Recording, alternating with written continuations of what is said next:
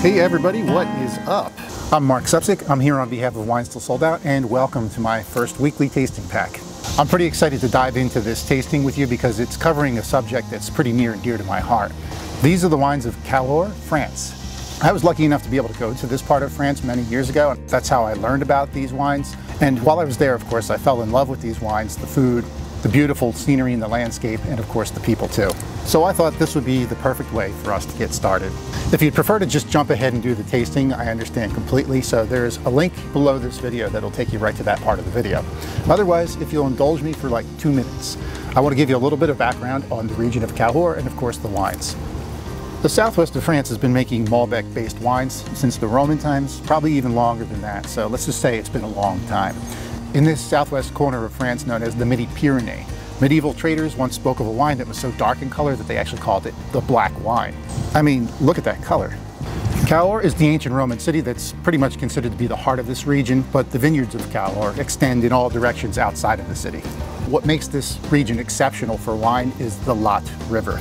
The Lot itself is a meandering, dramatic river that cuts through the limestone hills here, and the slopes and the terraces of this river make this the perfect place to grow grapes. Malbec grows throughout this entire region of France, but locally they don't refer to it as Malbec, they actually call it Cot. That's the ancient name. Most of the wineries in Cahors are small family-owned operations, like these two wines right here. It's very bucolic, it's very agrarian there. A lot of the locals, they don't even speak English. In fact, the uh, local dialect is French, but it's got some hints of ancient Celtic in it, which is really cool. Okay, so that's probably enough background on Cahors. I think we want to get to the tasting now. I know I do. And if you want to follow along with me as I taste, I've actually made a little placemat here where you can take notes. You can download this mat from the link provided below the video.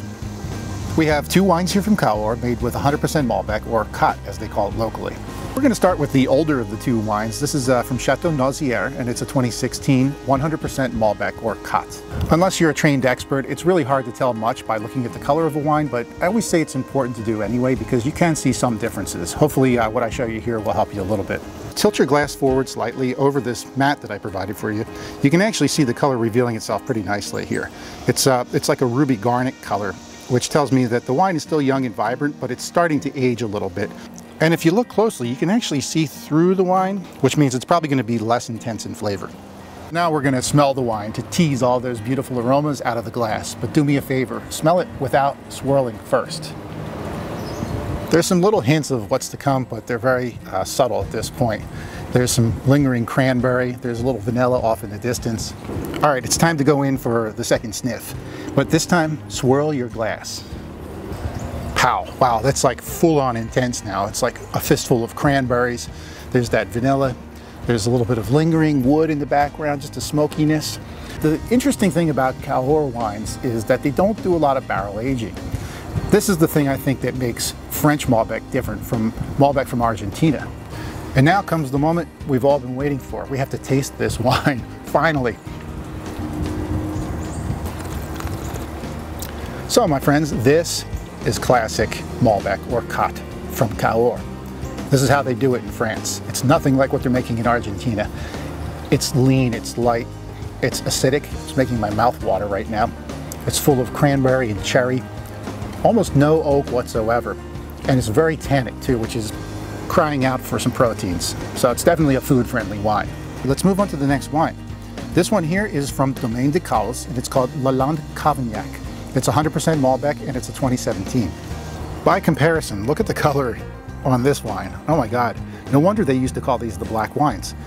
And if you look at the color on the rim here, it's a very vibrant purple, which tells me that it's still a young wine. Let's take a sniff. There's some faint hints of blackberry there and also some cedar. Let's give it a swirl. Definitely more intense now and it's all dark fruits. So blueberries, blackberries, black cherries, and there's this backbone of oak and smoke in there which comes from barrel aging. So I said before that they don't really do a lot of barrel aging in Cahors, but there are some winemakers that take more of a modern approach and I think that's what we're seeing here. And now we taste. This Cot from Domaine de Cause is a massive wine. And it's not because it's 14% alcohol. It's more the Malbec grape makes it so dense I mean, look at that. You can't even see through the glass. It's so dense. It's rich. It's thick. It's brimming with these black fruit flavors like black cherry and blackberry. And there's a definite oak presence there, which is not traditional for most Cahors Malbec, but this is more of a nod to a modern style. So now that we've had the pleasure of tasting these two beautiful wines, the next question is what kind of foods would you pair with them? Well, fortunately, this weekly tasting pack actually comes with two recipes that were handpicked by myself and Wines 'Til Sold Out to partner with these wines from Cahors. First, there's a recipe for a garlic herb roasted chicken. Roasted poultry is always excellent with wines from Cahors. And the second one is for a grilled flank steak. Red meats and game meats are great with rustic red wines like this. All right, my friends, so there is the weekly tasting for French Malbec from Cahors.